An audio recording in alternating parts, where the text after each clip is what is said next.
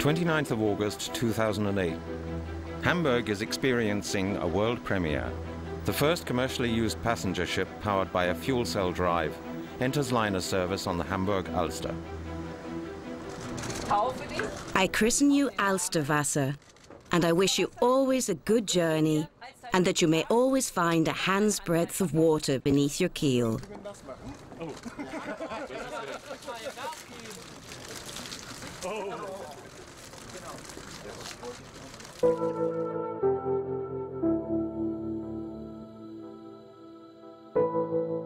In Hamburg 2005, there was an idea for a state initiative for the development of fuel cell and hydrogen technology. That was the starting point from which we developed a legitimate project. The Alsterwasser was built as part of the subsidized EU LIFE project, Zero Emission Ships, ZEM ships. A consortium of nine partners has made this project possible. They have pooled their know-how in order to turn this idea into a ship. The way things roughly developed was that the Environmental Administration Office approached us and asked us, begged us, if we would participate in an application process. That was initially very, very fascinating. The answer was clearly obvious. We wanted to be part of this.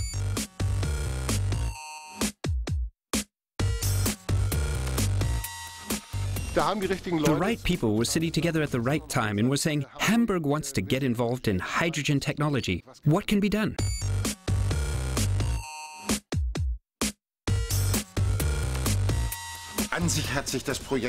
In a way, the project practically imposed itself on us. The crucial advantage of fuel cell technology is that it is emission low or even emission free.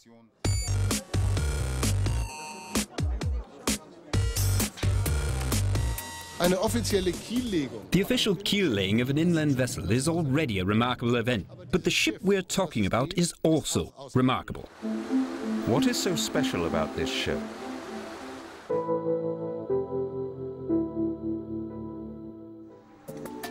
The heart of the emission-free drive, the fuel cell system, comes from Proton Motor, the expert for fuel cell and hybrid systems. We've already fitted buses with fuel cells, we've equipped forklifts, but this is the first ship, not only for us, but the first ship of this magnitude worldwide that is operated with fuel cells. Two powertrains together with a battery form the hybrid system, which is integrated into the ship. How does a fuel cell actually function?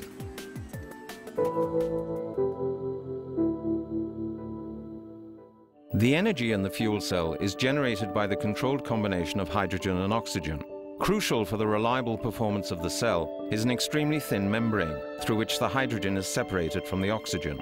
This membrane allows only hydrogen protons to pass through it. During this process, which is also referred to as cold combustion, electrical energy is created.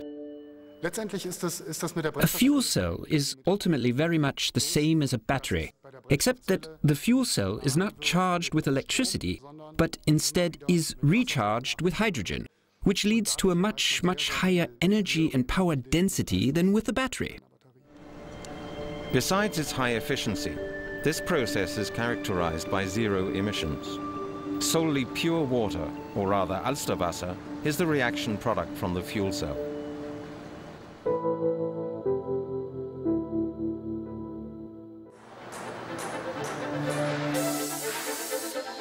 ZEM ships means high-tech meets classical shipbuilding. It was a challenge for the shipbuilders in the Hamburg dockyard, Ortkarten, to accommodate the new technology in cramped ship spaces.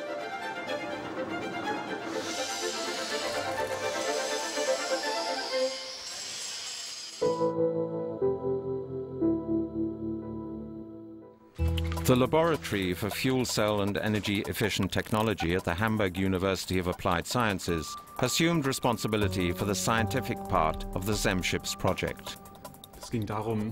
First, we had to determine how a steamer on the Alster is actually operated today.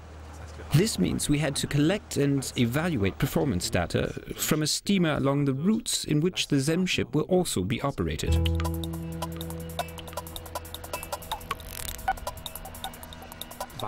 Furthermore, we'll be able to deduce what kind of energy savings and emission avoidance we can achieve with